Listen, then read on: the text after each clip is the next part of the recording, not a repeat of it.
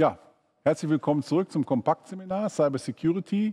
Und ich kann es hier schon lesen, Sie noch nicht. Wir werden uns jetzt mit dem Thema Live-Hacking auseinandersetzen. Äh, das heißt im Grunde genommen mal live erleben, was eigentlich passiert, wenn so ein Angriff erfolgt ist. Und neben mir hier auf meiner linken Seite steht Jens Otto vom Fraunhofer IOSB INA aus Lemgo, wie ich schon sagte, nicht so weit entfernt. Er hat in Bielefeld studiert, ist Master of Science und sein Schwerpunkt ist eigentlich schon immer Informatik und Security gewesen, muss ich sagen, habe ich gelesen. So er hat als Programmierer gearbeitet, also er kennt auch die praktische Seite des Lebens, so will ich es mal formulieren, und Berater gearbeitet. Da hat er gesagt, okay, ich weiß auch, wie es geht, im Grunde ja. genommen, und ist seit September 2012 in Lemgo, also am Fraunhofer, angestellt. Und er wird ein Lifehack hier präsentieren. Das heißt, sein Thema wird ein Lifehack sein und er wird es im Grunde genommen auch vorstellen. Und ich denke, Jens, das ist ein nicht beliebiges System, weil wir wollen noch mal ganz klar sagen, Hacking ist verboten. Punkt. Ja, genau. Also das heißt, alles, was wir hier sehen, ist abgestimmt. Im Grunde genommen nicht, dass irgendeiner sagt, oh, da gibt es die Möglichkeit, eine Abmahnung zu schreiben. Ähm, so, wir haben nämlich eben über die Rechtsfragen ja schon diskutiert. Ähm, die Rechtslage beim Angriff ist eigentlich klar. Und ich war mal bei einer ähnlichen Veranstaltung im Publikum, das muss ich dazu sagen. Und äh, da hatte auch ein Referent im Grunde genommen eine, einen Browser gestartet. Ich sage jetzt nicht welchen, weil die, die es wissen müssen, wissen es eh, welcher es ist. Und da hat er gesagt, okay, wenn ich jetzt hier weiter drücke, nachdem er durchgescannt hat, welche Systeme im Netz sichtbar sind, wenn ich jetzt hier weiter drücke, mache ich mich strafbar. Und wir drücken an der Stelle genau einen Schritt weiter. Ja. Und ich bin gespannt auf den Vortrag. Und äh, Jens, bitte deine Kamera, dein Vortrag.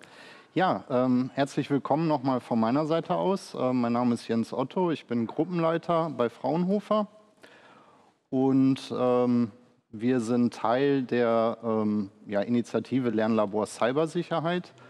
Dabei geht es darum, ähm, kleine und mittelständische Unternehmen dazu zu befähigen, das Thema Cybersicherheit eigenständig umzusetzen.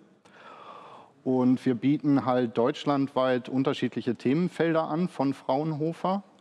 Und in Lemgo und Karlsruhe ähm, ja, befassen wir uns halt mit der industriellen Produktion und Industrie 4.0. Das heißt, in unseren Seminaren versuchen wir eigentlich, das Thema praktisch ähm, zu realisieren. Und an, ähm, auf der linken Seite sehen Sie auch unseren Lernkoffer. Das ist eine mobile Demonstrationsplattform, die wir entwickelt haben. Dabei geht es halt darum, ähm, alle handelsüblichen Automatisierungskomponenten in einen Koffer zu vereinen. Ähm, das werde ich gleich nochmal in einem Schaubild näher erläutern. Und äh, hierbei ist halt einfach das Praktische, dass wir Cybersicherheit auch ähm, erlebbar gestalten wollen. Das heißt, bei uns können die Teilnehmer direkt auch so einen Prozess automatisieren das ist uns halt sehr wichtig, dass man halt äh, von der Automatisierung hin zur Absicherung alle notwendigen Konzepte kennenlernt. Ähm, unten rechts habe ich Ihnen auch mal einfach eine beispielhafte ähm, Situation einer Schulung bei uns ähm, mitgebracht. Das heißt, wir haben halt äh, fünf dieser Lernkoffer und äh, bilden dann halt kleine heterogene Gruppen. Um eben das Thema Cybersicherheit ähm, ja, zu präsentieren. Ähm, dabei ist es halt ganz wichtig, ähm, dass unterschiedliche ähm, Akteure aus den Unternehmen zu uns kommen. Und äh, oftmals ist es dann so, dass sie zum ersten Mal miteinander kommunizieren. Also nehmen wir einfach die ähm, OT-Abteilung und die IT-Abteilung. Und das Schöne bei uns ist halt, dass sie zusammenkommen und gegenseitig verstehen, wo eigentlich die Anforderungen des anderen sind. Genau, das sind äh, unsere Zielgruppen in dem Themenfeld industrielle Produktion. Das sind halt Planer, Entwickler, Betreiber von Automatisierungslösungen. Ähm, diesen Lernkoffer, den ich eben schon mal einmal kurz vorgestellt habe, den präsentieren wir auch auf Messen, um das Thema halt breit zu streuen. Ähm, was wir auch machen, sind verschiedene Themenveranstaltungen. Ähm, das heißt, Unternehmen kommen zu uns und wir gucken uns äh, einzelne Technologien einfach an. Und das Schöne ist halt bei uns in Lemgo, dass wir die Anbindung zur Smart Factory haben.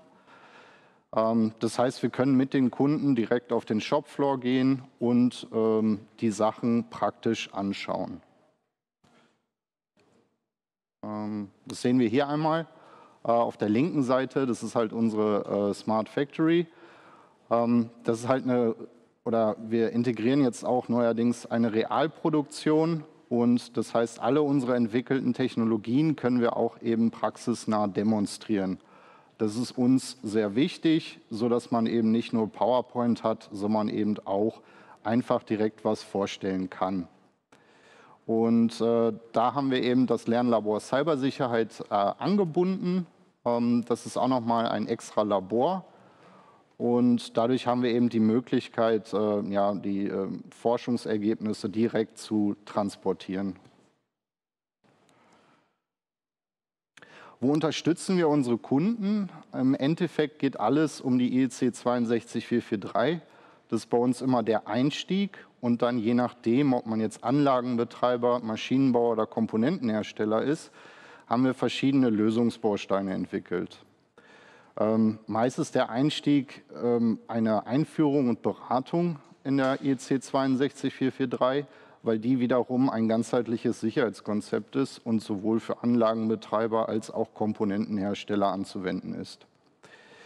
Ähm, dann integrieren wir beispielsweise auch eine Netzwerkanalyse. Das heißt, wir gucken uns halt an, ja, wo muss man das Ganze eigentlich integrieren? Ähm, was eine Netzwerkanalyse alles leisten kann, werden wir gleich noch einmal sehen.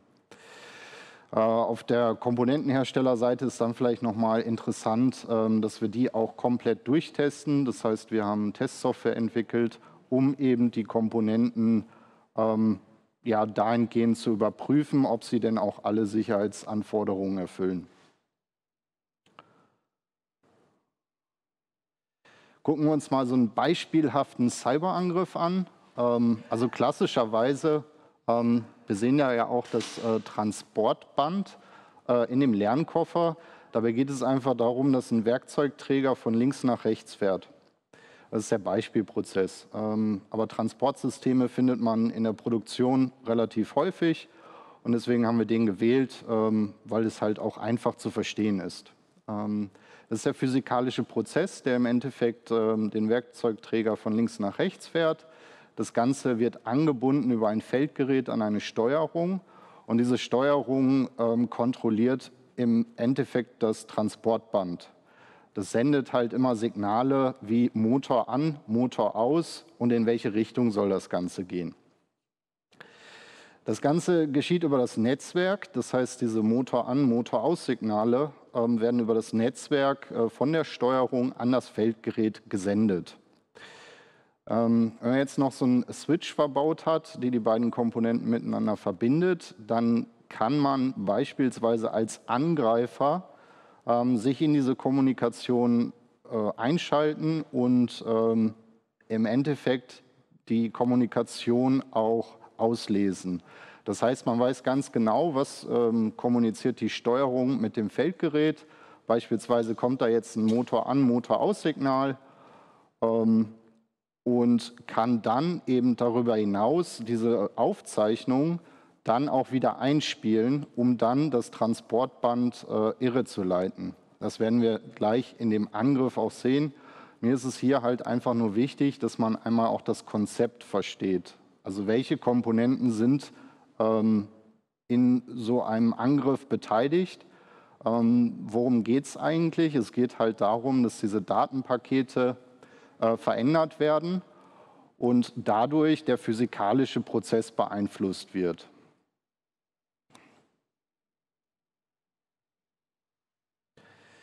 Jetzt gibt es äh, unterschiedliche ähm, Techniken, das Ganze zu überwachen. Das heißt, wir haben ja in der vorherigen Folie gesehen, da ist die Steuerung, der Switch und das Feldgerät. Ähm, wenn man jetzt in eine Produktionsanlage geht, dann sind die ja meist komplexer. Hier haben wir mal drei äh, Prozesse. Das ist ein Kompressor, ein Transportband und ein Roboter.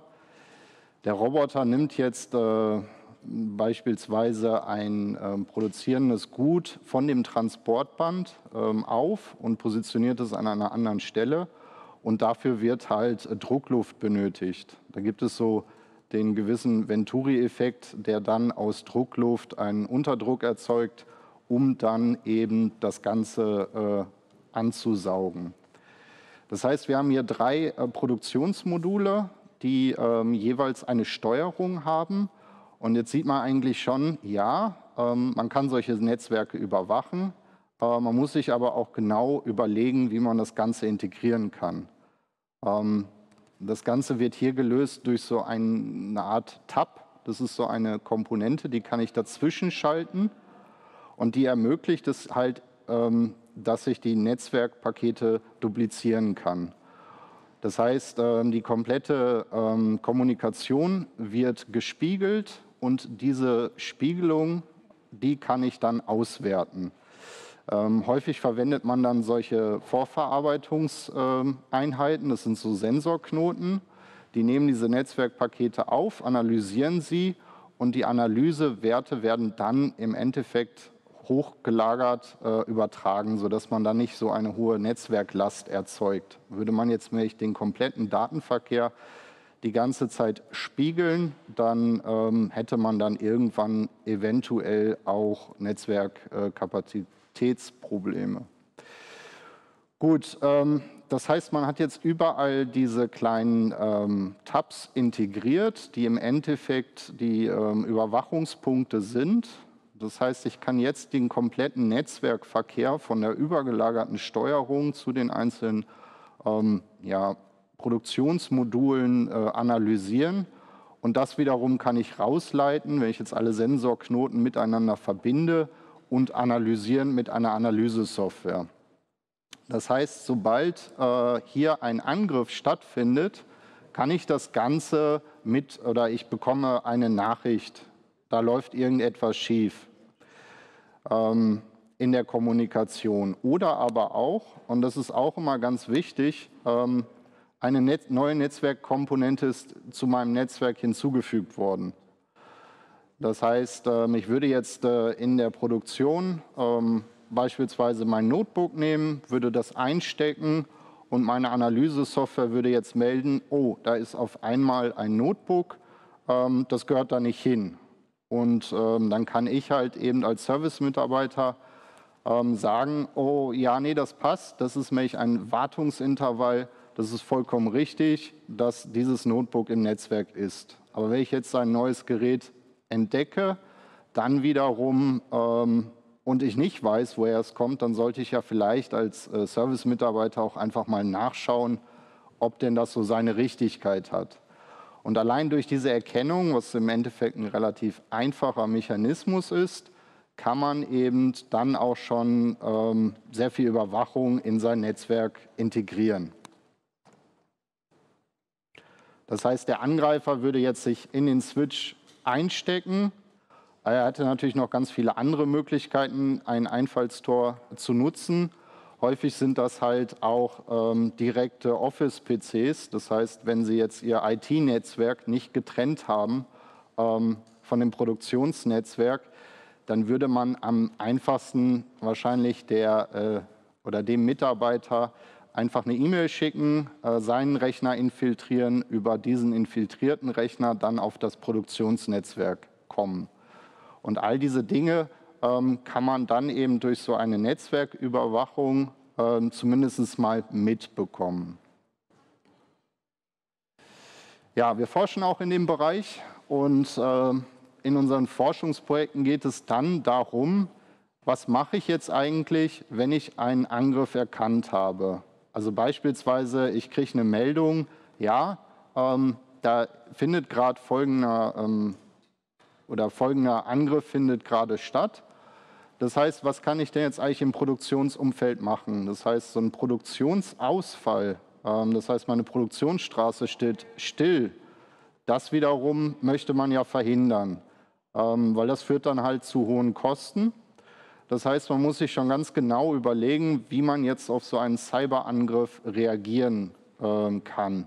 Und in diesem einen Forschungsprojekt, ähm, da geht es halt darum, ähm, solche Produktionsmodule dann auch passend zu isolieren. Das heißt, desto genauer ich weiß, wo dieser Cyberangriff stattfindet, desto besser kann ich auf diesen Cyberangriff reagieren und beispielsweise sagen, okay, mein Roboter ist ähm, jetzt befallen oder äh, unter Angriff. Das heißt, ich kann partiell den Roboter ähm, aus dem Produktionsnetz nehmen, aber habe dann vielleicht keinen kompletten Produktionsausfall, sondern man kann das eben kompensieren durch einen Mitarbeiter, der dann beispielsweise diese Flaschen von A nach B gerade per Hand äh, ja, überträgt. Und dafür verwenden wir halt äh, maschinelle Lernverfahren. Das heißt, wir ähm, nehmen diese Daten, die wir hier aus den Sensorknoten kriegen, ähm, verwenden mathematische Lernverfahren oder maschinelle Lernverfahren und lernen daraus im Endeffekt so eine Art Verhaltensmodell. Und dieses Verhaltensmodell reichern wir dann mit mehr Informationen an, um das Lagebild und auch die, Eigen oder die Situation des Angriffes viel besser einzuschätzen. Und das Ziel ist dann im Endeffekt für den ähm, Service-Mitarbeiter eine Handlungsempfehlung zu generieren, die einfach umsetzbar ist. Das heißt, isoliere beispielsweise äh, den Roboter. So, als nächstes würde ich einmal zu meinem äh, Mitarbeiter schalten. Der sitzt, äh, oder den haben wir live hinzugeschaltet in Lemgo. Ähm, ja, wir mussten aus Corona-Gründen das Ganze so ein bisschen äh, isoliert äh, machen. Ähm, das ist halt mal Herr. Ja, ähm, hörst du uns? Ja. Sehr schön. Guten Tag. Ja, ähm, du kannst vielleicht einmal noch mal kurz die ähm, Netzwerkkomponenten im Koffer vielleicht einmal so mit der Hand drauf zeigen, sodass man das einordnen kann von dem Schaubild und dann einmal vielleicht auch äh, erklären, wo jetzt der Prozess ist und dann vielleicht auch einfach den Cyberangriff durchführen.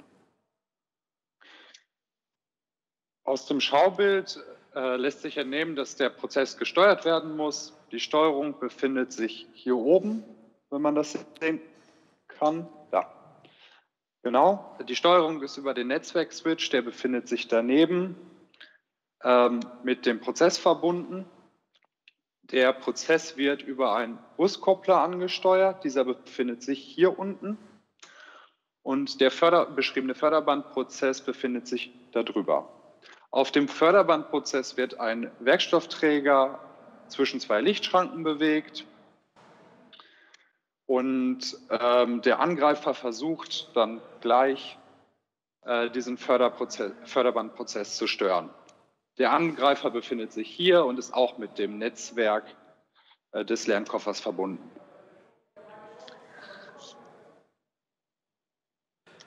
Ja, äh, vielen Dank. Ähm, dann wäre es mal, oh ja, da ist er ja. Genau. Wenn der Angriff gestartet wird, reagiert äh, das Förderband nicht mehr auf Änderungen der Steuerung. Das heißt, der Werkstoffträger fällt vom Förderband.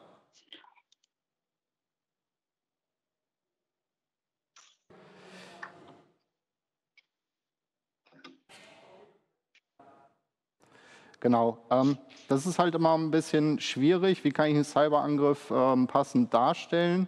Also in dem Fall wird der Prozess gestört. Ähm, jetzt kann man sich natürlich vorstellen, bei so einer Produktionsanlage haben wir ja häufig äh, auch äh, Safety-Anforderungen. Das heißt, ähm, naja, und es sind halt auch einfach Kosten an so einem Produktionsmodul. Das heißt, wir können das nicht einfach beschädigen. Ähm, ohne weiteres. Und ähm, hier haben wir auch häufig das ähm, Problem. Das heißt, wenn wir zu massiv dieses Transportband angreifen, dass das Getriebe ähm, im Endeffekt beschädigt wird. Äh, ja, und das können Sie sich jetzt ja vorstellen, so eine Produktionsanlage, das sind ja Tausende von Euros, ähm, die können wir nicht regelmäßig ähm, ja, zerstören. Ähm, das ist dann natürlich immer so ein bisschen problematisch. Ähm, was hier aber noch ganz interessant ist und ähm, deswegen vielleicht noch einmal zurückzuschalten zu dem Koffer, ähm, das ist das Analysesystem, was wir hier einsetzen. Ähm, da werden wir natürlich gleich im nachfolgenden Vortrag noch äh, viel mehr Details erfahren. Ähm, aber das ist im Endeffekt äh, ein System, was über den Switch verbunden ist und jetzt auch diese Angriffe erkennen kann. Carsten, kannst du einmal die, die Web-Oberfläche aufmachen von dem Tool? Ja, mache ich. Das heißt, diese Analyse-Software hat dann auch so ein Webinterface und ähm, da kann man jetzt im Endeffekt auch erkennen, dass dieser Cyberangriff eben stattgefunden hat.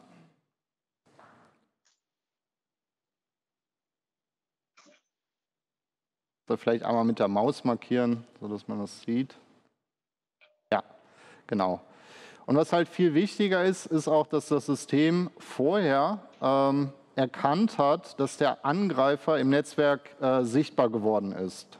Das heißt, äh, wenn man den, also wenn der Angreifer dann das Netzwerk ähm, oder Teil des Netzwerkes wird, dann zeigt diese Softwarelösung im Endeffekt auch an, da ist ein neues Gerät und lieber Operator, schau doch mal bitte nach, weil das sollte nicht so sein.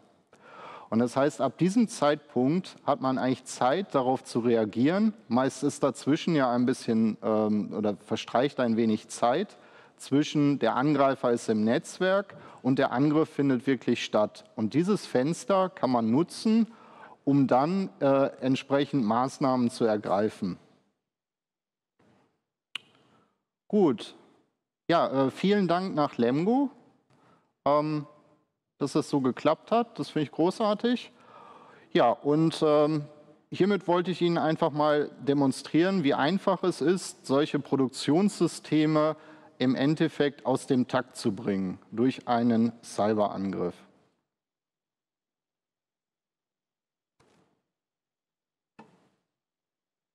Okay, ja, super. Äh, wir haben noch ein bisschen Zeit, sehe ich gerade auf der Uhr. Also von ja. daher alles gut. Also ich sage mal, top in der Zeit, so will ich es formulieren.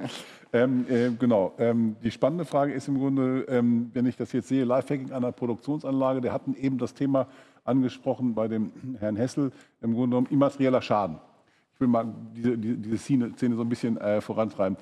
Habt ihr Erfahrung im Grunde genommen über Schadenshöhen, die entstehen, weil im Grunde genommen durch Cyberangriffe Produktionsausfälle stattgefunden haben aus eurer täglichen Praxis? Also jetzt nicht referenzorientiert, mhm. sondern einfach mal so als, als Hausnummer zu geben, was für eine Bedrohung, also monetäre Bedrohung da im Grunde genommen auch entsteht. Ja, ähm, klar. Es gibt halt äh, Produktionsstraßen, wenn die eine Stunde stillstehen, dann geht der Schaden halt in die Millionenhöhe. Okay. Und ähm, das ist natürlich etwas, ähm, was man nicht unbedingt möchte. Und so Produktionsanlagen, wenn die einmal ausfallen, äh, fahren die auch nicht unbedingt gleich wieder an. Okay. Das heißt, es kann auch einfach sein, dass dann die komplette äh, Mechanik gereinigt werden muss und dadurch entstehen halt einfach immense Kosten. Okay. Und die sind halt sehr, ähm, ja, man muss sehr darauf achten, ähm, dass die halt durchgängig laufen. Okay. Gut. Ja, 24-7 ideal. Ja, definitiv. Und das sind ja auch die Anforderungen. Ich meine, können Sie sich ja vorstellen, ähm, Sie möchten ja produzieren, Sie möchten Geld verdienen, ja. Sie möchten ja keinen Produktionsausfall. Ja. Und es ist ja allein schon ähm, durch ein Fehlbedienen schon dramatisch. Und wenn das jetzt noch extern hervorgerufen wird, dann ist es ja ein erheblicher Schaden. Jetzt ist ja mit diesem Schaden immer auch, wenn, also mit diesem Schaden ist auch mal Geld verbunden. Das heißt, auch die Androhung von Geld, also die Androhung von Schaden kann ja im Grunde genommen schon ein kriminelles Geschäftsmodell sein. Habt ihr Erfahrung, wo im Grunde genommen jemand andersrum erpresst wurde nach dem Motto, ähm, ich drücke jetzt auf den Knopf und ähm, wenn du nicht zahlst, passiert das und das in deiner Anlage? Ist das in der täglichen Praxis schon mal vorgekommen? Ja, es ist halt häufig der Fall ähm, der doppelten Datenhaltung. Das kann ich auch nur jedem empfehlen. Das ist sehr essentiell. Ähm, all diese Daten, die jetzt auch beispielsweise auf einer Steuerung sind, äh, separat nochmal abzulegen. Okay. Und das heißt, wenn ich dann ange oder beispielsweise verschlüsselt werde von jemandem oder gestört werde, dann habe ich halt ein Backup. Okay. Im Idealfall kann ich dieses Backup einfach wieder einspielen okay. und äh, weiter produzieren. Okay. Ähm, ja. Aber so ein praktischer Fall, wo im Grunde genommen gesagt wurde, Zahl oder Überweise oder es steht, äh, schon vorgekommen? Ja, definitiv. Also es passiert ja ständig. Ähm, da muss man einfach sehr aufpassen. Okay. Ähm, Natürlich nennen wir da auch immer keine, keine Namen. Namen. Da sind wir sehr verschwiegen und es ist natürlich auch sehr wichtig, Diskretion okay. in dem Bereich. Okay, alles klar. Gut. Ja. Ähm, ich würde Folgendes vorschlagen. Wir haben jetzt äh, äh, zehn nach. Wir starten mit unserem nächsten Vortrag, wenn ich das jetzt richtig sehe.